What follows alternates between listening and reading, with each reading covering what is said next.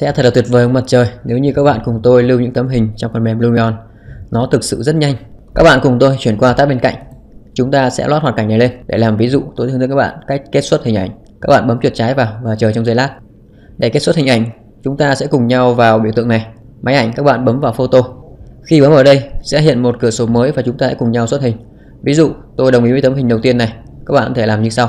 Chúng ta sẽ cùng nhau di chuyển trỏ chuột lên vị trí chiếc máy hình ở trên này Kéo chuột xuống một chút xíu và chúng ta bấm vào biểu tượng nhỏ này Để chúng ta chụp hình chúng ta đang hiển thị.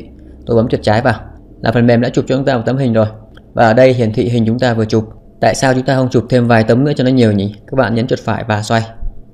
Chúng ta có thể áp dụng các phím điều hướng không nhìn Ở bài trước tôi đã nói. Tôi xoay ra ngoài này và chọn một góc nữa. Tôi chọn góc này. Tôi tiếp tục chụp thêm một tấm nữa, Di chuyển trỏ chuột lên trên này. Kéo xuống, bấm chiếc máy ảnh nhỏ bên dưới này, chúng ta sẽ chụp tấm thứ hai. Và tương tự, chúng ta có thể chụp thêm vài tấm nữa ví dụ như thế này, tôi muốn chụp ra ngoài. Rồi, ok. Chúng ta sẽ chụp tấm này. Chúng ta tiếp tục di chuyển chuột vào đây và bấm vào hình bên dưới này để chụp tiếp. Sau khi chụp xong, lưu hình là bước cực kỳ đơn giản. Các bạn chỉ cần chọn những định dạng hình muốn lưu ở đây. Có nghĩa là chúng ta chọn hình nhỏ hay to. Nói chung là càng to càng tốt. Còn bây giờ, tôi sẽ chọn định dạng ảnh lưu nhỏ nhất, Nhanh nhất. Tôi bấm vào phần email. Chúng ta cùng nhau gõ tên. Ví dụ tôi gõ cảnh thứ nhất. Và chúng ta bấm save Rất nhanh phải không nào? Sau khi lưu xong, chúng ta có thể lưu một tấm hình khác. Các bạn bấm chuột về vị trí này chẳng hạn. Chúng ta tiếp tục lưu tấm hình khác, Chọn định dạng lớn hay nhỏ tiếp theo. Trong quá trình lưu, chúng ta có thể chỉnh focus length Khẩu độ ống kính để tăng hoặc giảm ống kính. Sau khi chọn được khẩu độ hợp lý, chúng ta có thể lưu tiếp. Có thể các bạn sẽ lưu một tấm poster để đảm bảo độ chính xác và độ sắc nét cao hơn. Bây giờ, tôi sẽ chọn tấm hình đầu tiên mà chúng ta đã làm. Tôi bấm vào đây. Tôi sẽ hướng dẫn các bạn sử dụng hiệu ứng sân 2 để chúng ta cùng nhau chỉnh sửa nhiệt độ trong ngày. Các bạn bấm vào phần hiệu ứng và các bạn chọn hiệu ứng đầu tiên, sân. Bấm vào. Với bảng này chúng ta có thể chỉnh sửa ánh sáng mặt trời. Tôi cho phần sân 2, tức là chiều cao của mặt trời, cao hay thấp. Càng thấp thì mặt trời càng nghiêng về chiều. Tôi kéo này, các bạn giữ chặt chuột trái và kéo. Khi tôi bỏ tay ra thì cảnh đã chuyển hoàng hôn vào chiều rồi, chúng ta có thể xoay để kiểm tra. Các bạn có thể bấm vào sân heading, tức là vị trí của mặt trời. Chúng ta biến đổi vị trí.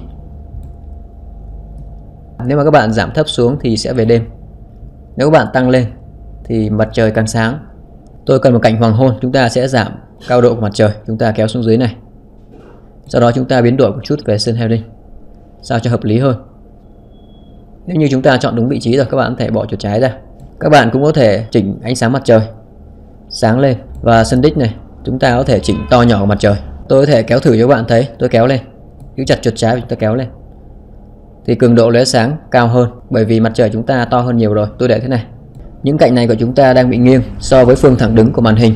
Nói tóm lại, tôi đang cần một phối cảnh hai điểm tụ mà các cạnh này sẽ đứng. Nhìn phối cảnh chúng ta trông sẽ đẹp hơn. Các bạn làm như sau. Các bạn vào phần hiệu ứng. Chúng ta chọn về hiệu ứng camera và các bạn chọn phần two point perfecti để làm đứng phối cảnh chúng ta lên trông đẹp hơn. Các bạn chọn vào. Để chỉnh đứng phối cảnh, chúng ta chỉ việc tăng cường độ này lên mà thôi. Tôi kéo chuột trái lên các bạn có thấy đối tượng này của chúng ta thẳng hơn rất nhiều rồi không? Nếu mà tôi kéo xuống. Méo, thẳng. Vì vậy, nếu như các bạn muốn thẳng phối cảnh lên, chúng ta sẽ kéo đối tượng này cao nhất để phần mềm tự chỉnh sửa. Và chúng ta tiếp tục sẽ kết hợp các phím biểu hướng không nhìn để kiếm một cảnh đẹp hơn. Nhìn ra ngoài này, và nhấn A qua trái một chút. Ví dụ như thế này. Các bạn có thể chụp và xuất bao nhiêu tấm hình tùy ý. Ở cách xuất hình đầu tiên, tôi đã giúp các bạn học được hai hiệu ứng khá thú vị rồi đấy.